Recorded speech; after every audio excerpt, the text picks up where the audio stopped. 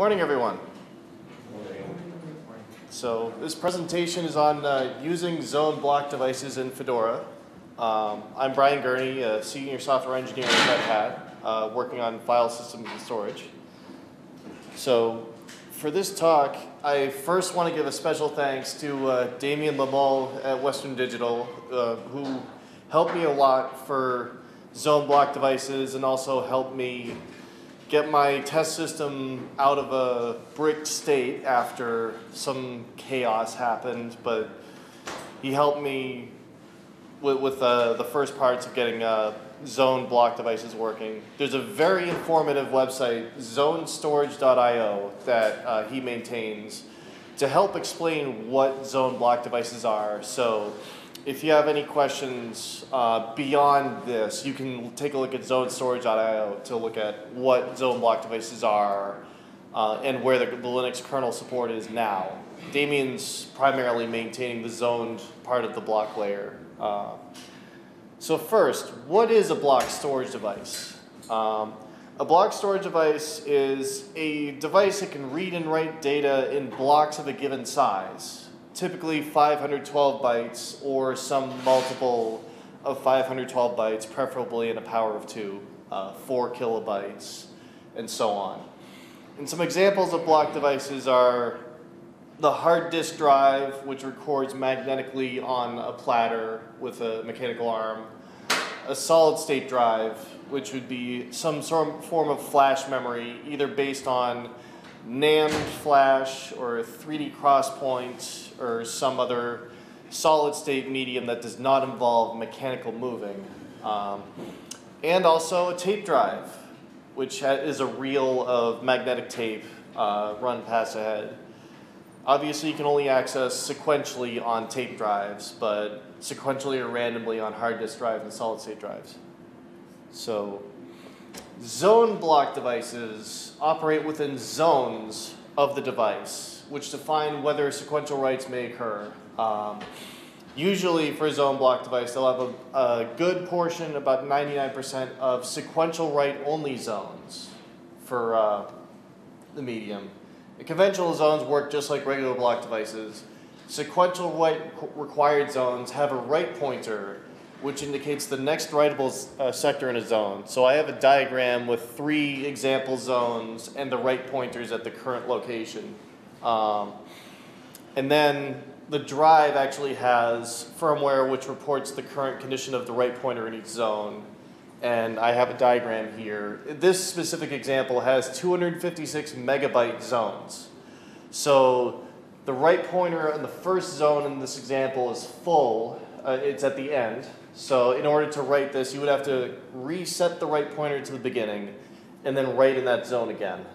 Um, and then the other example, that's a partially uh, open zone, uh, and then there's a, an empty zone. In the text, this is actually a command called block zone uh, report, BLK zone, and it reports the first two zones here are full. The second one is open implicit, and then the next two are empty. So you could start write at the right pointer of the open implicit zone. Uh, so the types of zone block devices right now, um, the older type are called device managed zone block devices. The firmware controls the zone management, but it exposes to the host a standard block device interface. The advantage here is that you can use existing file systems with these devices the disadvantage is that these existing file systems will end up seeing slow performance because the device abstracts away the management of the zones. Um, and so you start to see performance degrade as the drive has to shuffle between conventional and the sequential write-only zones. And the newer drives are host-managed zone block devices. And the firmware presents a zone block device interface. So it'll tell with the write commands, it'll tell the driver what the zones are, where the write pointers are. And so that's an extension to the SCSI interface. Um, the advantage here is that the host can have direct control of I.O. and zone management. Um, the disadvantage here is that almost none of the drivers right now in Linux understand how to do this. Um, And that's more than just the file systems, it's also the I.O. schedulers. Schedulers reorder I.O. for optimum performance. However, if they reorder writes, this may result in errors. So there's been, um, as it says here, I.O. schedulers, file systems, and volume managers need to know how to handle the write pointers, where they can write, when they can write, when they need to reset. And so the main type of zone block device that exists now are what are called shingled magnetic recording hard disk drives. And so these SMR hard disk drives record data in an overlapping fashion. The diagram on the left, which these diagrams are from Zone Storage IIO, um, the diagram on the left is a conventional hard disk drive track map um, where you can see the tracks are individually laid, but they have a lot of space in between them, which is used for error correction, head location, and so on. Whereas SMR hard disk drives have a head with a narrow read head and a wide write head. So they can achieve higher track density, be able to read all of the magnetic fields in the tracks, even if they're partially overlapped. However, to write in those tracks, they, in those zones, they need to rewrite the entire zone. So, these ideal applications, the best ideal applications for these drives are applications that do not need to write in the middle of data commonly. Um, and so that's very conducive for large object storage in archival style applications which have frequent writes in a sequential fashion, frequent batches of long sequential writes, not that many parallel writes, infrequent reads, which will usually be in a sequential fashion, your classic backup every single day and then restore once every hopefully never, but in say two, every two or four months or so. I can hear those backup veterans laughing. You've had to do a restore. Um, and ideally, there would be many drives distributed across many nodes, achieving capacity, throughput, and redundancy. So you don't really mind that a hard disk drive will have a maximum throughput of, say, 180 megabytes per second sequentially. That's perfectly fine in your application. Then this would work very well. And so the large average size is, is a key for many applications. Um, I previously worked in a backup application that had an, a large average size of 90 megabytes per file. So a 256 megabyte zone is perfectly normal. And then long-term retention would be more important than short-term performance. So what doesn't work with zone block devices? And the applications that are less conducive for this are file systems, drivers, and schedulers that don't know the limits of sequential write restrictions. And then partition tables, uh, some partition tables, particularly GPT, will have data that ends up in sequential only zones um, at the end of the drive. Classically, uh, SMR hard drives have sequential and random data areas at the beginning for the first 1% and then the last 99% is sequential write required zones. Um, RAID, uh, the current MD RAID uh, implementation does not understand the, uh, the zones and your average RAID chunk size is usually um, 64 kilobytes to one or two megabytes or so, which does not fit into a 256 megabyte zone.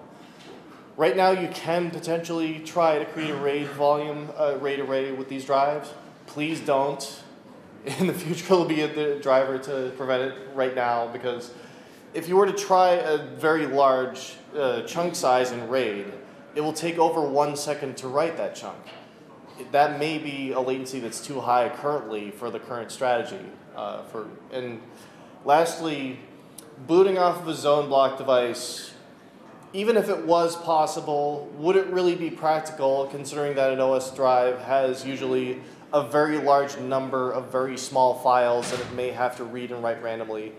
That's not really a practical use for zone block devices, which usually you'll have a small OS drive, which will be a small flash drive, and then the storage volumes will be non-system drives. It'll be very large and replaceable, easily replaceable. So how can you use zone block devices in Linux right now with, say, the 5.3 kernel, the 5.4 kernel, and so on? Um, so the kernels, the optimal time for zone block devices has been, right, right now, for the 4.17, 4.18 kernel is when the scheduler changes were in so that the, uh, the scheduler was able to use it. And that set up everything else to be able to use. So you can use, you should use MQ deadline for the scheduler. That's the only scheduler right now that understands the right restrictions for the zones. One of my first issues was uh, when Damien, he asked me, are you using the deadline scheduler? And I asked, well, I said, no. Why does that matter? And then I found out, because that's the only scheduler that understands the limitations. So to create a file system, you can use F2FS, the flash-friendly file system, with the dash M option, which uses the uh, zones for, it understands host managed zone block devices. The M is for host managed. Um, however, the maximum size for that file system would be 16 terabytes. Um, right now, the um, some of the drives that you, shingled magnetic recording drives you can find are 14 terabytes, but the, there have been 20 terabyte drives announced, and that would be too big for one file system right now with F2FS. Um, and you can create an LVM logical volume to make smaller zoned block devices so you can achieve partitioning. However, you have to use the pvcreate with data alignment switch to set it to the zone size. Um, and so that, that way, instead of the uh, LVM header offsetting the first usable uh, extent, it'll make sure that the first extent is at the beginning of the zone. So then you won't have unaligned writes. Uh, and that'll present a host managed zone block device, which you will then have to use with F2FS. With the DM zone device mapper target, you can actually use conventional file systems, um, which is very nice. And coming soon, ZoneFS, which will expose every zone in a file where you can directly write to the file, you can truncate the file to reset the write pointer, and so on.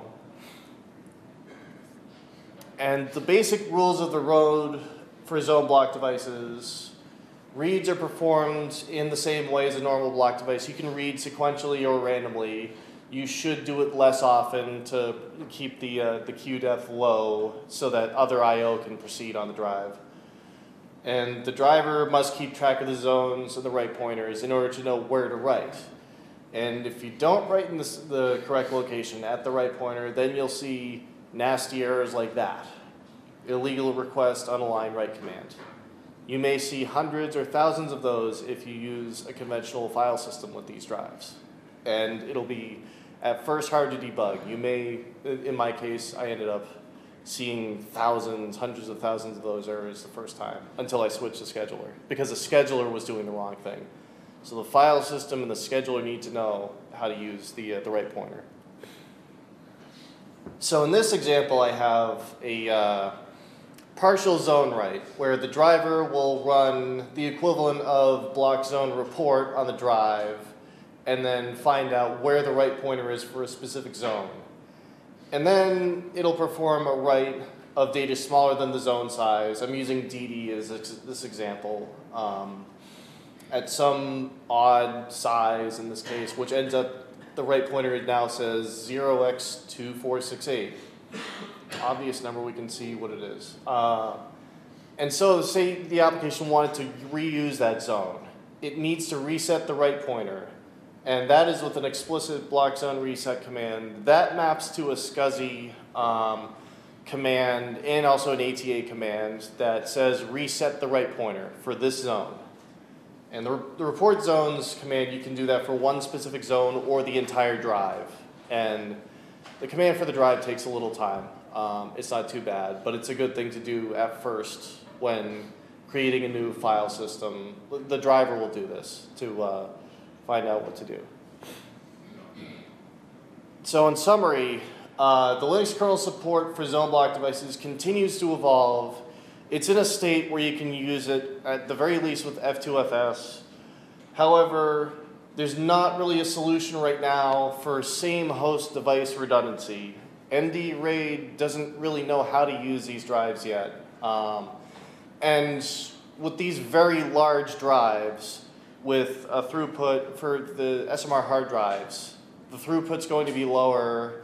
You may not want to do an entire disk build because 14 terabytes or so may take a day or two or longer to, to rebuild a single drive. So then that calls into question, could there be something better suited than classical RAID for this? And elsewhere in the Linux kernel, there's been future support via other file systems announced. Uh, Btrfs and Bcache are announcing host managed zone support. Uh, and there's other ideas for alternate APIs. ZoneFS, where the user won't have to uh, understand how to use, uh, they won't have to code their own driver for a file system. They'll say, I'd like to do direct writes to individual files. And ZoneFS will provide that interface to do that. So, any questions? Yes. Are there still any major price differences, uh, which is the whole background for the Price like yes. archive storage capacity versus, you know, classical HDD type storage capacity? Um, Price per gigabyte ratio? I noticed it was down to like seven percent in certain, you know, comparisons. yeah. Uh, seven percent or seventy? I didn't hear that. Seven. Seven. Uh, can you uh, uh, read that again, the question, please, for recording? Uh, so what, what is the price difference between zoned and classical hard drives? Um, it's not that much different. Um, there is a uh, little bit uh, capacity um, increase, um, but when you get multiple drives, that scale amplifies with hundreds or thousands of drives in a cluster. Um, and I, I forget the, I think a 14 terabyte drive was about five hundred dollars. I'm overestimating intentionally because I don't remember the exact price. Um, and so the, the price per terabyte is about seven, eight, nine times less than what it would be for flash. Um, and there's there's uh, ideas in the industry for flash zone drives, uh, which will actually present a more direct interface than the flash translation layer uh, in a drive, which may be interesting for high capacity drives, tighter control on wear leveling, uh, and so on. Yes. Questions? Uh, How long data will persist on this, on this drive? Because it's much more probably complicated to read it precisely because the tracks are too close to each other. Yes. And the second, have you posted RFPs for enhancements of tools like LVM to handle the pvcreate smartly without the user's inconvenience? So Um, it should work basically, so yeah. if The, it's not, then you should probably. Okay. The last question first. Is there an RFE posted for uh, LVM for a better uh, handling of zone block device, uh, zoned uh, partition creation? Not yet. I think I may because remembering to offset it by the zone size is a little complex to do. So it might be nice to have a front end to have LVM query what is the zone size. Okay, I'll place the first extent right at the beginning of the next zone to make it easier. Um, and then the other question is, what is the data endurance and lifetime on these drives? Um, I'm not speaking for the manufacturers, but I believe it's about the same as the endurance for um, magnetic, uh, regular magnetic hard drives. Um, they're able to get le- more data space, u- more track space used, um, less control tracks in between by having these overlapping tracks. Because achieving is for long term, so Yes. we cannot persist too much long. Yeah. I think that the, uh, the Seagate archive about seven percent failure rate. Consider C, there are good failure rates. Yeah, we it's the the hard part about endurance is that you have you usually have to wait that long to find out how long the drives will last.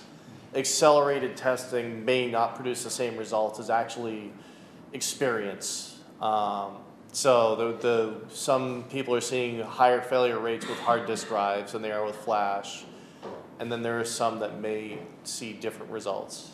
Um, I read that there are some host-aware drives, and these drives will automatically allocate, automatically manage the zone, but they also expose the interface. Is it true? Uh, the, the, that's a difference. Are there drives um, right now? Th- There are host dri- host managed drives. The host managed drives Yeah, provide the the host interface. manager drives not right sequentially, but there is uh, supposed to be host-aware drives.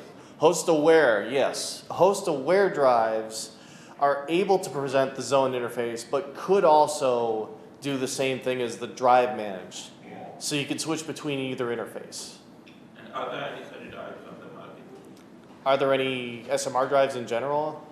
Or Well, I think that there is, that the, that Seagate Archive drives, and it is drive managed. yes. Yeah, they're, they're admittedly they're kind of it's a little difficult to find some of these SMR drives on the market because they usually sell to large OEMs selling thousands of drives or hundreds of drives for a specific application. And it's not going to be as visible on the consumer market for an individual drive uh, SKU if you're purchasing one drive. You have to look for a specific part number. Um,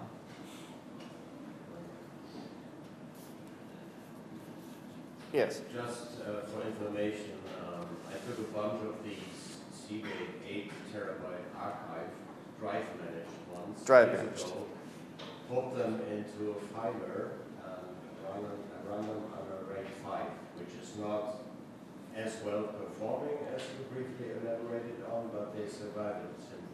Yes. Yeah. Just for Heinz was mentioning that he has uh, drive managed uh, SMR drives in a uh, in a filer, and they've been running for a while. Um, so it, with that, it, that's the key though that the the application is very conducive to those sequential writes. Yeah. Yeah. And, yeah, disclaimer, that's just me being stupid because uh, they are not meant for Mm. that kind of deployment. Okay. Yeah. Yes. Uh, In the landscape, uh, what's the status of other operating system in terms of uh, uh, system managed disks? Other operating systems? Um, so I know Windows supports these with ReFS, the resilient file system. Um, I don't know the exact restrictions on that. Um, admittedly, I have I've been working in Linux for a while, so um, but I used to work in Windows uh, as a system administrator in a large storage. So um, now, in, in, the, in the rest of the industry, I know that Dropbox is using these drives, but they wrote their own software and their own drivers, closed source, unfortunately, so we don't get to see the work. So, this sort of this sort of spoke to me in terms of like a closed source software company wrote the software to use these drives, but now the drives exist. Us in the open source environment have to figure out how to use them because they do exist. So it's sort of like the classical 1990s when there was hardware and they, the vendors did not provide the drivers. So then now we have to figure out. However, in this case, there are West, Damien at Western Digital and I believe uh, there's a few other contributors at Seagate are providing Linux kernel patches to use the drives. We're just at the point where now the file systems and the other applications have to get drivers working with these drives. And so it takes a little while. Yeah. Uh, Has maybe companies, uh, other companies like Dropbox, uh, I think about Backblaze, uh, shown interest in contributing to it since they are quite open in their uh, approach and their usage of disks and that. So the question was, have any of the other um, application, large storage application companies, uh, like a Dropbox or Backblaze style company, shown interest in providing? Not that I've seen so much um, in the Linux file system development. Um, there, the, the Btrfs uh, is one that, that is uh, one that I don't. Uh, Facebook has been contributing a little bit to, to the Btrfs side because they're also working on uh, Btrfs anyway. Um, but I haven't seen any from the application developers uh, in terms of that. Last question maybe? Mm.